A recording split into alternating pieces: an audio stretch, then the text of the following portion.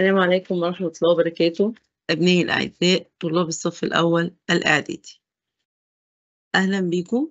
تعالوا بينا. إحنا خلصنا الحمد لله الوحدة الأولى. تعالوا بينا ناخد مع بعض الوحدة التانية. وهي بتتكلم على العصور التاريخية. المؤرخين قسموا لنا العصور لعصور ما قبل التاريخ وعصور تاريخية. ما قبل التاريخ يعني قبل معرفة الكتابة أما العصور التاريخية فهي بعد معرفة الكتابة. يبقى عصور ما قبل التاريخ من أول خلق الله للإنسان لحد معرفة الكتابة. اللي هو يا أولاد العصر الحجري القديم والحديث والنحاسي وما قبل الأسرات. بدأت العصور التاريخية لما الملك مينا وحد الأقاليم في دولة واحدة فبدأت من هنا واتكونت الأسرات وبدأت العصور. فأول درس معانا هنتكلم فيه على عصر الدولة القديمة اللي هو العصر اللي بيسمى بعصر بناة الأهرامات وهو بيضم الأسرات من التالتة للستة. بداية العصور التاريخية دي ده وقت ازدهار الحضارة المصرية ولكن طبعا تخللها بعض فترات الضعف والإضمحلال تعالوا بينا في نهاية الدرس نشوف إن في نهاية الدرس هنكتسب إيه مع بعض. في نهاية الدرس إن شاء الله هتتعرف على خصائص العصر العتيق ونفهم إيه هو العصر العتيق. كمان هنستنتج ملامح الحياة المصرية القديمة وهنعرف مع بعض أعمال ملوك الدولة القديمة ونميزها.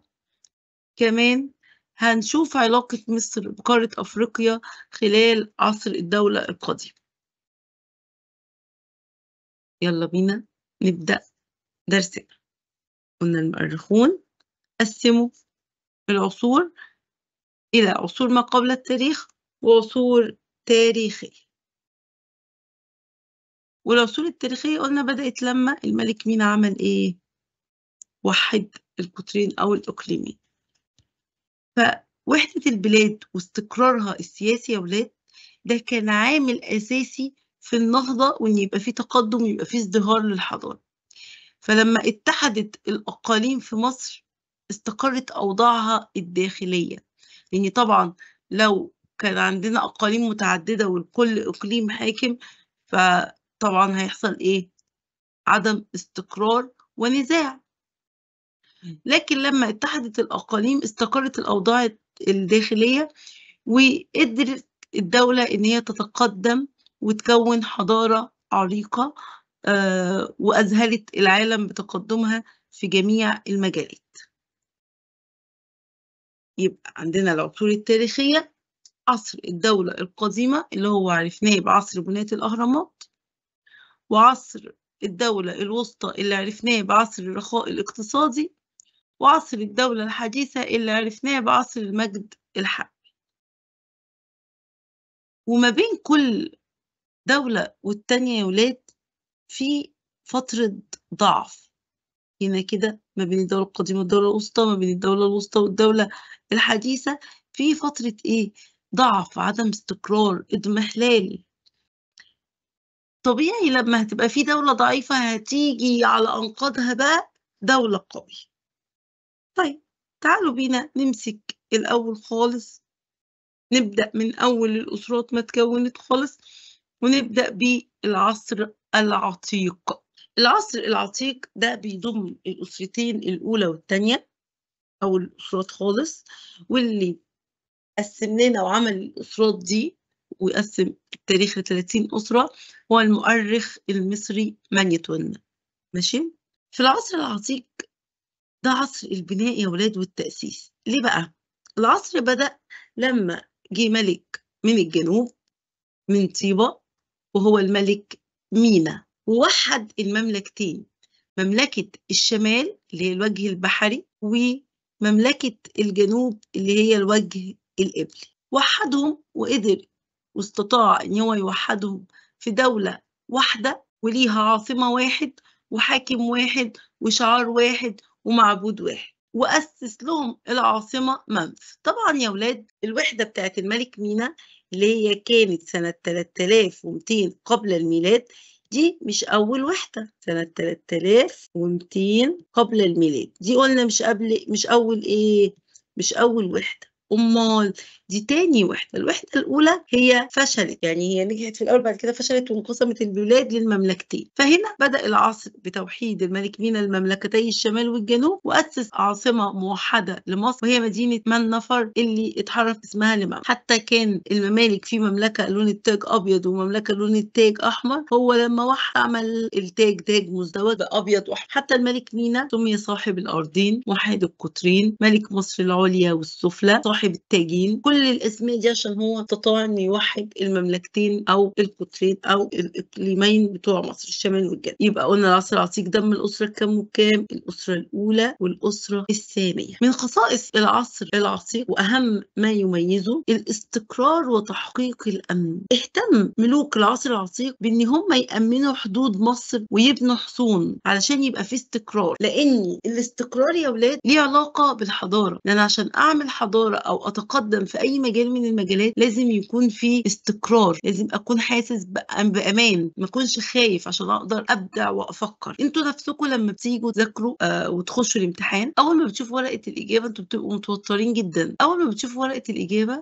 وتلاقوا أسئلة كتير أنتوا مذاكرينها تبدأوا تهدأوا نفسيا وتبدأوا تحلوا بقى وتفتكروا اجابته فاستقراركم النفسي وإحساسكم بعدم التوتر خلاكم تعرفوا تحلوا. وكذلك في بناء الحضارات أو في أي تقدم أو في أي شغل أنت لو خايف أنت مش هتعرف تفكر ولا تبدع مجرد ما تحس باستقرار وأمن هتبدأ تبدع وتتقدم في جميع المجالات. عشان كده ملوك العصر العتيق اهتموا إن يبقى في استقرار وتحقيق أمن وده اتحقق عن طريق إن هم يأمنوا حدود مصر ويبنوا الحصون طيب اهتموا بإيه كمان؟ اهتموا بالأنشطة الاقتصادية. النشاط الاقتصادي العمل اللي بي... اللي بيعمل بيه الانسان فاهتم الملوك العصر ده بالتجارة أكتر. فمثلا اهتموا بالطرق الصحراوية. اشمعنى؟ عشان يأمنوا التجارة المرة بيها. كمان قدروا يسيطروا على المنطقة الواقعة في الجنوب. الجندل الأول. اللي هي بين جنوب الجندل الأول ليه بقى؟ عشان برضو التجارة. نهر النيل في الجنوب يا ولاد فيه جنادل كبيرة في النهر. فالجندل الأول ده كان بيبقى عائق. فيه سير فمن أجل التجارة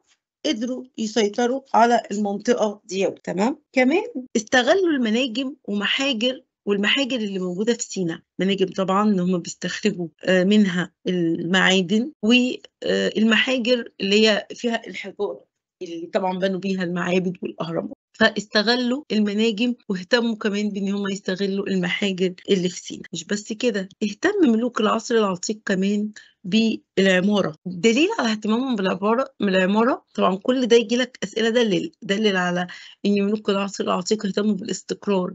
دليل على إن ملوك العصر العتيق اهتموا بالأنشطة الاقتصادية. دليل على إن ملوك العصر العتيق اهتموا بالعمارة. دليل على إن هم اهتموا بالعمارة بنائهم لمقابر الملوك. بتلاقي إن المقبرة اتحولت من مجرد حفرة في الأرض لحجرة من الحجر الجيري وبيعلوها كمان جزء من الطوب اللبن زي مسطبه كده. فده دليل على اهتمامهم بالمقابر تطور شكل المقبرة. ده الدليل على اهتمامهم بالمقابر والأخص العمار ده كده العصر العتيق. يبقى العصر العتيق ده بداية عصر الأسرات. بيشمل الأسرتين الأولى والثانيه وعصر العتيق بيعتبر عصر البناء والتأسيس لو جاء لنا بما تفسر. ليه بيطلق عليه عصر البناء والتأسيس؟ هنقول لأني بدأ بتوحيد الملك مينا المملكتي الشمال والجنوب وأسس عاصمة مصر الموحدة اللي هي منف أهم خصائص العصر العتيق الاستقرار وتحقيق الأمن عن طريق إن الملوك اهتموا بإن هم يأمنوا حدود مصر ويبنوا الحصون. كمان يهتموا بالأنشطة الاقتصادية يعني يهتموا بالطرق الصحراوية عشان يأمنوا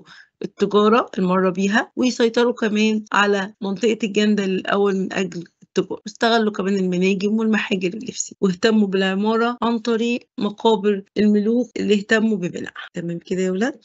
تعالوا بينا بقى نشوف العصر العتيق المعروف بعصر بناة الأهرامات ده سؤال بما ليه عصر الدولة القديمة يعرف بعصر بناية الأهرامات؟ ليه يا ولاد؟ قال لك عشان ملوك هذا العصر اهتموا ببناء المقابر بتاعتهم بنوها على شكل أهرامات. المصريين القدماء كانوا بيعتقدوا في البعث والخلود إن هما لما هيموتوا هيقوموا ويعيشوا حياة أبدية. عشان كده اهتموا بالمقبرة جدا خصوصا المقابر الملكية عشان كانوا بياخدوا معاهم أي حاجة هيحتاجوها في الحياة الأخرى. أدوات حلي معادن الآثار اللي بنلاقيها دلوقتي دي دي من من الأساس الجنائزي اللي هم كانوا بياخدوه معاهم ويحطوه في المقابر بتاعتهم على أساس إن هيستخدموها في الأخرى عشان كده اهتموا جدا ببناء الأهرام يبقى عصر الدولة القديمة بيتسمى بعصر بناء الأهرامات لاهتمام ملوكها ببناء مقابرهم على شكل أهرام عصر الدولة القديمة بيشمل بقى الأسرات من الأسرة الثالثة للأسرة الكام؟ للأسرة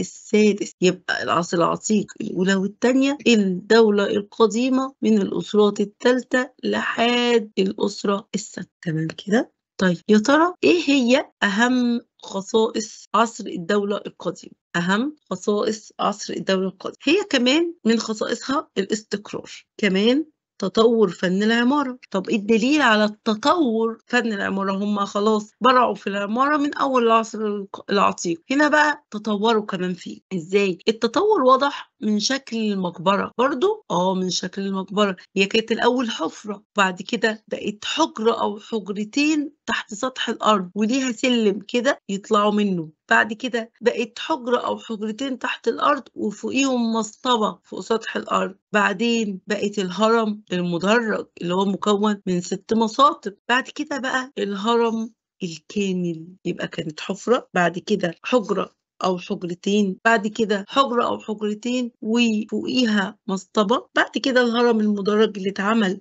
في عهد الملك زوسر بعد كده الهرم الكامل اللي هو بقى هرم خوفو مثلا. وطبعا ده بيدل على تقدم المصريين القدماء في العمارة وفي الهندسة وكمان في الفلك. مش بس شكل المقبرة دليل على براعتهم في العمارة كمان اهتمامهم ببناء المعابد سواء معابد آلهة بيعبدوا فيها الآلهة ويقدموا لهم القرابين أو معابد جنائزية اللي هي بيصلوا فيها على المتوفي. ده دليل برضو على براعتهم في فن العمارة كمان الفنان المصري برع في النحت. فكان مثلا بيستخدم مواد مختلفة زي الحجر زي العاج زي الخشب وغيرهم. فاهتموا خصوصا يعني بنحت التماثيل الملكية. فده سؤال بما تفسر. ليه المصريين القدماء اهتموا بنحت التماثيل الملكية؟ قال لك لاعتقاده في قدسية الملك هو بيعتقد في قدسية الملك علشان كده اهتموا بالإيه؟ بالنحت التماثيل الملكية. طيب نحت تماثيل النبلاء زي تمثال النبيل كعب والتمثال ده معروف حاليا بتمثال شيخ البلد. معروف حاليا بتمثال إيه؟ شيخ البلد. كعبر ده كان كاتب وكاهن مصري عاش في أواخر آه الأسرة المصرية الرابعة وأوائل الأسرة الخامسه تمام؟ فعملوا له التمثال ده لأن هم كانوا بيحطوا تماثيل للنبلاء. قلنا التمثال ده معروف حاليا بإيه؟ بشيخ البلد. كمان نحتوا تمثال للكاتب. وهنا كان بيبان دقة ومهارة الفنان المصري القديم في هذا التمثال اللي هو كاتب تمثال الكاتب المصري الجالس ده هو ده. أظهر دقة ومهارة الفنان المصري القديم كمان وتقديره لمكانة الكاتب. وده يا ولاد تمثال كعبر. يبقى الفنان المصري القديم برع في فن النحت ويستخدم مواد مختلفة فاهتم بنحت التماثيل الملكية لأن هو كان بيعتقد في قدسية الملك. طبعا كانوا بيعتبروا الملك ابن الإله فعشان كده هم كانوا بيبقوا مهتمين بالملوك. كمان نحت تماثيل النبلاء زي تمثال النبيل كعبر اللي هو حاليا معروف بشيخ البلد. كمان نحتوا تمثال الكاتب المصري وهنا ظهر تفوقهم ودقتهم في النحت ومهارتهم كمان وتقديرهم لمكانة الكاتب. مش بس نحت تماثيل لا كان عندهم فن النقش. وظهرت النقوش البارزة على الأسطح بقى الصلبة. كمان كان عندهم فن الرسم واستخدام الألوان عشان يصمموا صور جدارية لقيناها على جدران المعابد. ده كله كان في إيه؟ في عصر الدولة القديمة. اهتم في عصر الدولة القديمة بالأدب يا ولاد. ازدهر الأدب خاصة الأدب الديني في عصر الدولة القديمة. زي نصوص الأهرام أو متون الأهرام.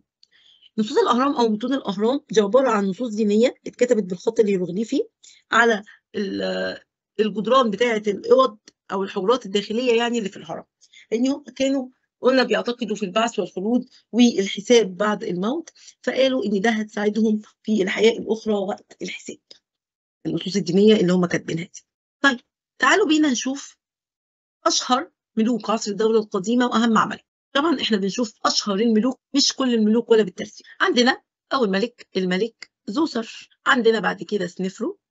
عندنا خوفو وخفرع وسركاف وناس.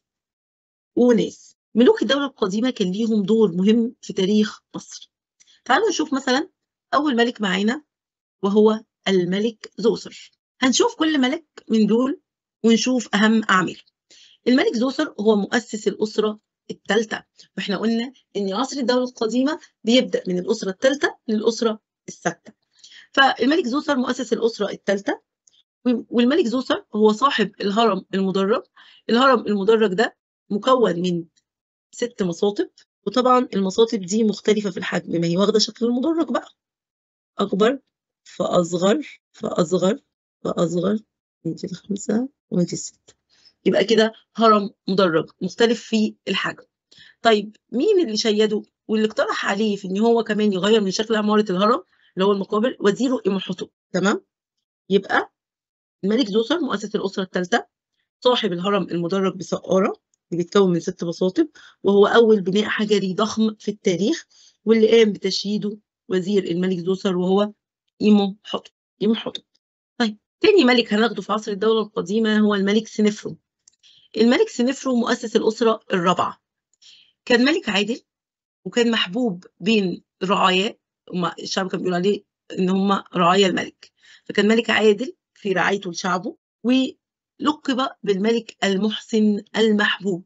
وفي عهده كمان ازدهرت الناحية الاجتماعية والتجارية والفنية وكمان العمارة.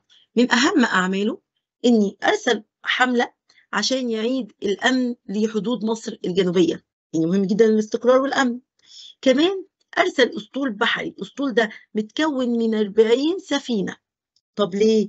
قال لك علشان يجيب أخشاب شجرة الأرز من فينيقيا شجر الأرز يا ولاد اللي هي الشجرة اللي موجودة في عالم لبنان. فهي راحوا فينيقيا لبنان عشان يجيبوا أخشاب الأرز يبقى ما يجي يقول لك بما تفسر أرسل أسطول أرسل ميكس نفر أسطول مكون من 40 سفينة لفينيقيا هنقول إحضار خشب الأرز إحنا كده؟ خدنا كذا سؤال بما تفسر. قلنا بما تفسر يعد العصر العتيق عصر البناء والتأسيس. قلنا لأن بدأ بتوحيد الملك مينا لمملكتي الشمال والجنوب وتأسيس عاصمة مصر الموحدة اللي هي مدينة منف أو منفر قلنا بما تفسر إن في استقرار وتحقيق أمن في العصر العتيق هنقول ان ملوكها اهتموا بتأمين حدود مصر وبناء الحصون قلنا بما تفسر تسمية عصر الدولة القديمة بعصر بناة الأهرامات إيه ليه؟ برافو عليكم بسبب اهتمام ملوكها ببناء المقابر اللي هي على شكل اهرامات بما تفسر تسمية هرم زوسر أو هرم سقاره بالهرم المدرج لأنه مكون من ست مصاطب مختلفة الحجم. بما تفسر أرسل الملك سنفرو أسطول مكون من 40 سفينة لفينيقيا لإحضار خشب الارز شايفين كم سؤال بما تفسر؟ تعالوا بينا بقى نشوف ثالث ملك الملك خوف الملك خوفو يا ولاد تاني ملوك الأسرة الرابعة. أمال هو مين أول ملوك الأسرة الرابعة؟ برافو الملك سنفرو لأن هو مؤسس للأسرة الرابعة. ملك خوفو طبعا معروف بإن هو شيد الهرم الأكبر على هضبة الجيزة وده طبعا عمل معماري بيدل على عبقرية المصري القديم. وطبعا الهرم الأكبر من إحدى عجائب الدنيا السبع بسبب ضخامته وبراعته وبراعة تصميمه. كمان ازدهرت في عهد الملك خوفو التجارة الخارجية خاصة مع فينيقيا يبقى الملك خوفو تاني ملوك الأسرة الرابعة وشيد الهرم الأكبر وازدهرت في عهده التجارة الخارجية لبس خاصة مع مين؟ مع فينيقيا تعالوا نشوف الملك اللي بعد كده وهو الملك خفرع. الملك خفرع هو صاحب الهرم الأوسط. كمان هو أمر بنحت يا ولاد تمثال أبو الهول. تمثال أبو الهول طبعا هو رأسه رأس إنسان وجسمه جسم أسد رأس الإنسان بتدل على العقل والحكمة وجسم الأسد بيدل على القوة. يعني بيقول لك إن المصري القديم عنده عقل وحكمة وفي نفس الوقت عنده إيه؟ قوة. فهو بيرمز. كمان النحت وصل لقمته في عهد الملك خفرع فقدر الفنان المصري إن هو يستخدم أصلب أنواع الحجر وينحت عليه زي حجر الديوريت. حجر الديوريت. يبقى الملك خفرع من أهم أعماله إنه صاحب الهرم الأوسط وإنه أمر بنحت تمثال أبو الهول وإنه كمان النحت تقدم في عهده ووصل لقمته فقدر الفنان المصري إن يستخدم أصلب أنواع الحجر في نحت التماثيل زي قلنا حجر إيه؟ الديوريت. بعد كده يا ولاد جه اتولى الحكم بعده ابنه الملك منقورة وشيد الهرم الأصغر بجوار هرم خوفو وخفر. بدأت بقى في نهاية الأسرة الرابعة يزيد نفوذ كهنة الإله رع الإله رع اللي هو إله الشمس. فسقطت الأسرة الرابعة لما كبير كهنة الإله رع قدر يوصل للحكم.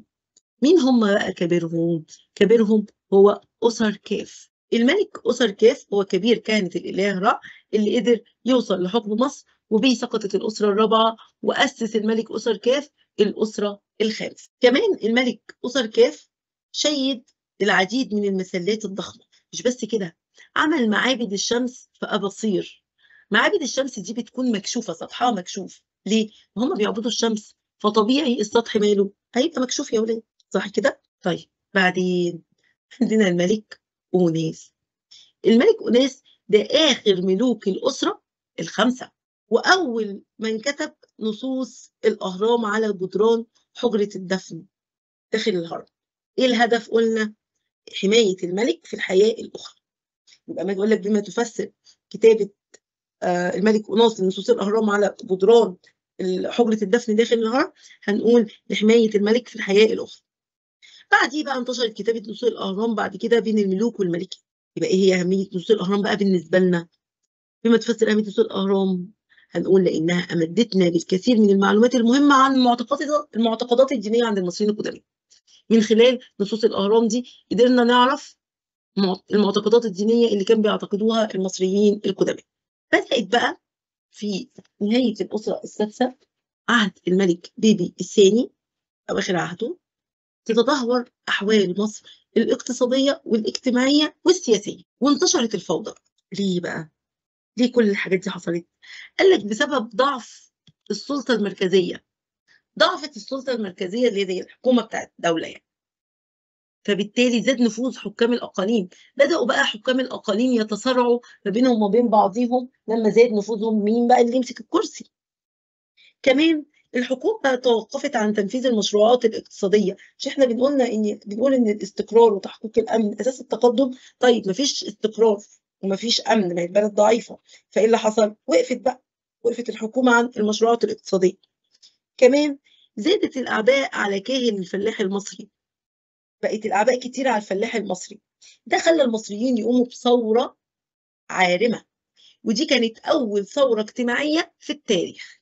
قام بيها مين؟ المصريين القدماء. ودي خلت آه الملك مقيد حريته مقيدة. تمام؟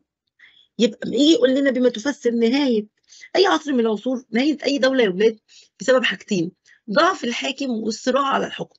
لما الملك بيبي الثاني كان ضعيف حصل إيه؟ إزداد نفوذ حكام الأقاليم وتصارعوا ما بينهم وبين بعضهم. فبالتالي هتسقط الدولة. يبقى ضعف السلطة المركزية وازدياد نفوذ حكام الأقاليم وتوقف الحكومة عن تنفيذ المشروعات وزيادة الأعباء على كاهل الفلاح كل ده ضغط عليهم وخلاهم يعملوا ثورة وتسقط الدولة القادمه فده بقى يخلينا نتكلم على عصر الإضمحلال عصر الإضمحلال الأول أو عصر الضعف واضمحلال معناها الفترة الزمنية اللي البلد فيها كانت ضعيفة في حالة من الضعف آه وانتشرت فيها اضطرابات سياسية واقتصادية. طبعا الفترة دي كانت بتشمل الأسرات بقى من السبعة للعشرة يعني ثلاث أسرات.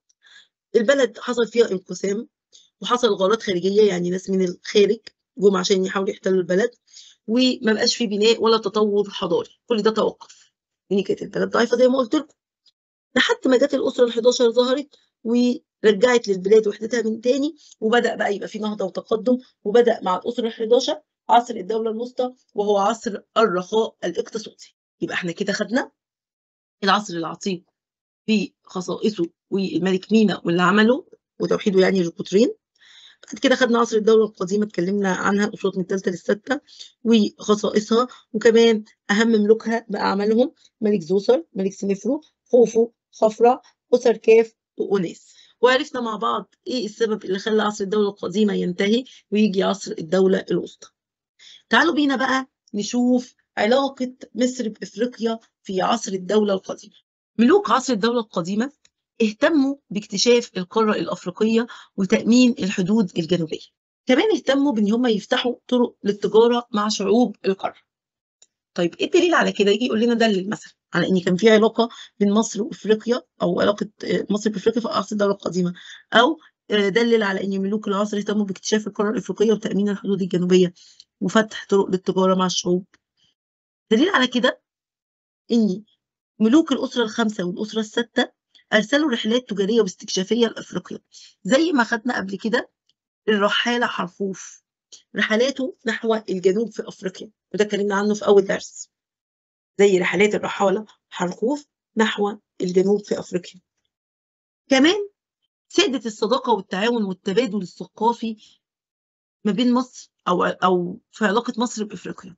من مظاهر تأثر إفريقيا بالحضارة المصرية في عهد الدولة القديمة إن بعض المعبودات المصرية في إفريقيا يا ولاد بقت موجودة عند ملوك أوغندا. زي مثلا إيه؟ زي الصقر اللي هو بيسمى بالمعبود حورس.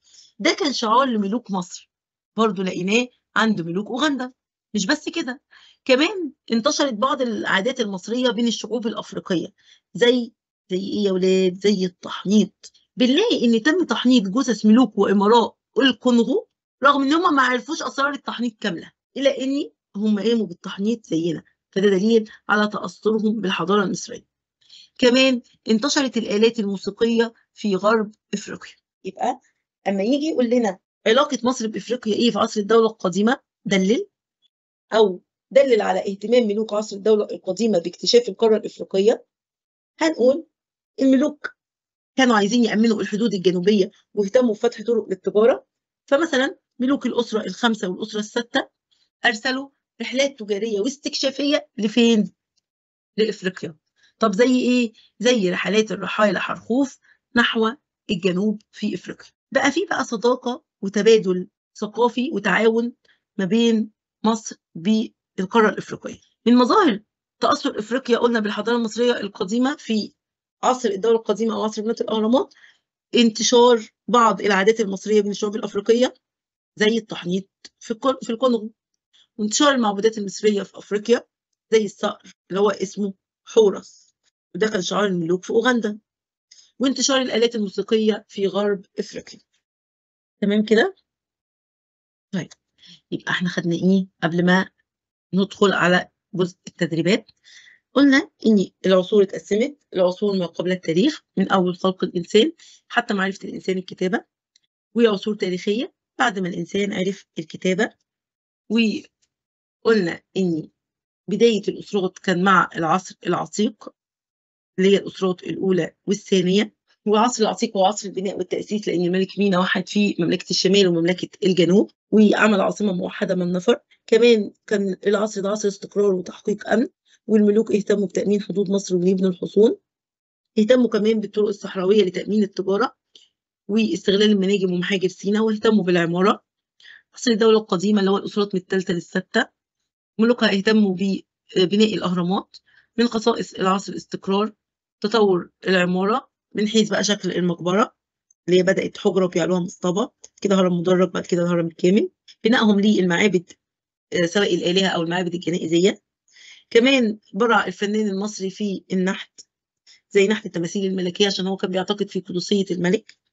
وتماثيل النبلاء زي تمثال النبيل كعبر اللي هو بيعرف شيخ البلد. كمان بان دقة ومهارة الفنان المصري في تمثال الكاتب المصري. كان في فن النقش وفن الرسم واستخدموا الألوان عشان يصمموا الصور الجداريه وكمان برعوا في الأدب خاصة الأدب الديني. أشهر ملوك العصر زوسر سنفر وخوف وخفرع وسركاف وناس. وبعد كده بدأت العصر يضعف وتتدهور أحواله الاقتصادية والاجتماعية والسياسية بسبب ضعف السلطة المركزية ازدياد نفوذ حكام الأقاليم وتوقف الحكومة عن تنفيذ أي مشروعات اقتصادية. والأعباء اللي زادت على الفلاح فقاموا بإيه؟ بثورة. جه بقى عصر الإضمحلال أو عصر الضعف اللي هي الأسرات من السبعة للعشرة. فضلت البلد تعاني من الضعف والانقسام إلى أن ظهرت الأسرة ال11 وأعادت البلاد لوحدتها تاني اللي هو بقى عصر الدولة الوسطى. بعد كده اهتم ملوك عصر الدولة القديمة بإن هم يعملوا اكتشافات جغرافية أو كشوف جغرافية للقارة الإفريقية ويأمنوا الحدود الجنوبية. فجم ملوك الأسرة الخمسة والستة أرسلوا رحلات تجارية واستكشافية لإفريقيا زي رحلات الرحالة حرخوف نحو الجنوب. وكمان انتشرت بعض المعبودات المصرية زي الصقر المعبود حورس ده كان شعار لملوك مصر. برضو آه لقيناه عند ملوك أوغندا. وكمان انتشرت بعض العادات المصرية زي التحنيط لجثث الملوك فخدوها منهم أمراء الكونغو انتشرت الآلات الموسيقية المصرية في غرب أفريقيا كده كان درسنا.